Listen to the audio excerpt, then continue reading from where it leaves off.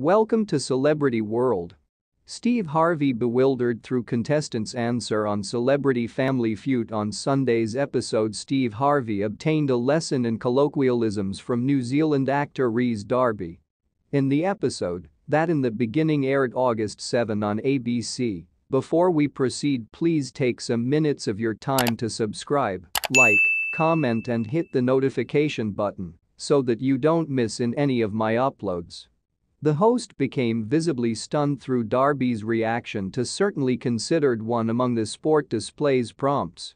Passed away is a pleasing manner of pronouncing a person died, call a now no longer so excellent manner, Harvey asked. Jumping to begin the spherical, contestant Jay Pharoah right away hit the buzzer as he spurted out a accurate answer, croaked, and landed his group at the board. Unfortunately for Pharoah, after three wrong solutions from teammates, the spherical became stolen through the opposition. And it really is while matters were given interesting.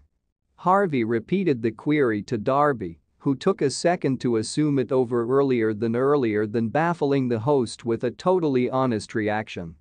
I'd want to say, carked it, the actor smirked. The studio's target target market roared in wave of laughter even as Harvey stood on stage too taken aback to speak. And try to guard the answer, Darby defined what he supposed through the statement.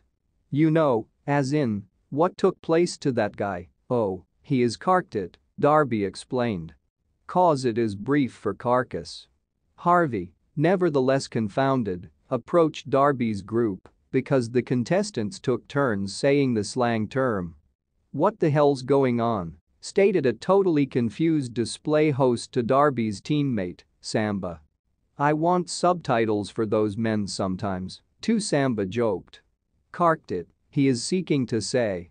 Like become a carcass, he is grow to be a carcass.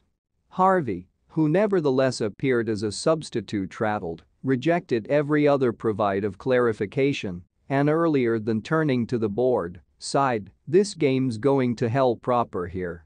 The term, which by and large is used as slang in Australia and New Zealand, became now no longer at the board.